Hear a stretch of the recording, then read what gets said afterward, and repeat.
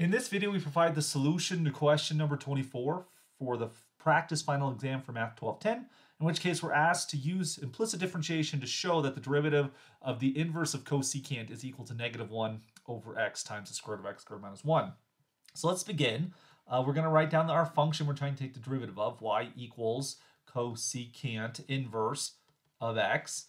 Well, the reason we're going to do implicit differentiation is because although we might not know the derivative of the inverse cosecant, we can calculate the derivative of cosecant by switching to the inverse function. So cosecant of y is equal to x. This is an observation we're going to want to remember for later on, so I'm going to put a little mark right here.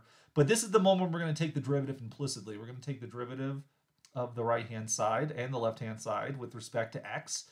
On the left-hand side, uh, because we're taking derivative of cosecant of y, we're going to get the derivative of cosecant, which is negative cosecant y cotangent y.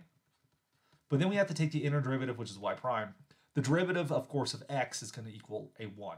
If you solve for y prime, you end up with 1 over, well, negative 1 over cosecant of y times cotangent of y, for which this is now why we marked that box we did earlier. Notice that cosecant of y is equal to x. That's going to take care of this x right here. Well, how do we get rid of the cotangent?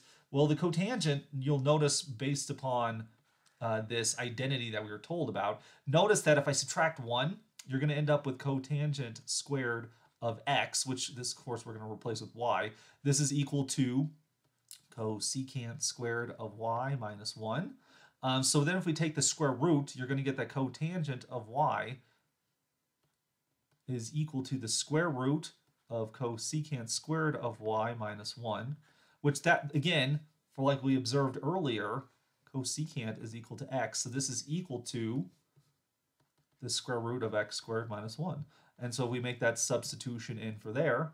We then get the derivative we were looking for. We get that y prime is equal to negative 1 over x times the square root of x squared minus 1.